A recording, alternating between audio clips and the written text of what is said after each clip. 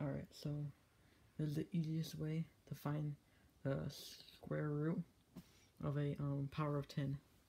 So, like, 100, 10,000, and a million. Wait, know what's about all these numbers that have in common? Well, they're all even numbers. Well, zeros because 100 has two zeros. This one has four. This one has six.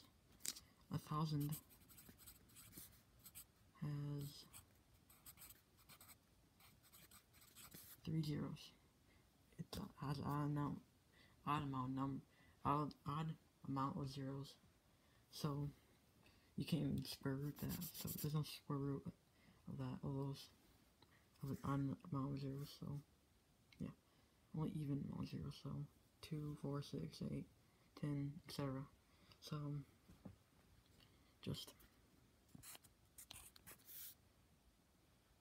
see like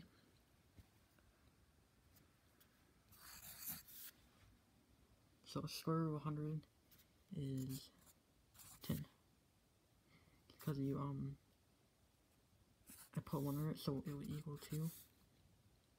first one says four zeros put two under it so that's equals 2 make sure everything equals 2 so it says 6 zeros plus 2 equals 2 8 4 equals 2 10 6 equals 2 12 6 equals 2 etc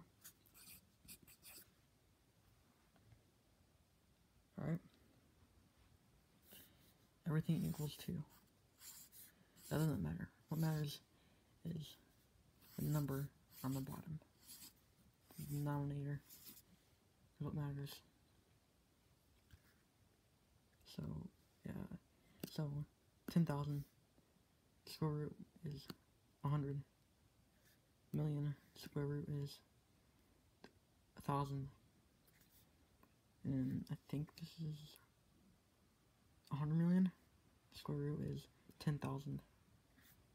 And that's the easiest way to find the square root of power to 10.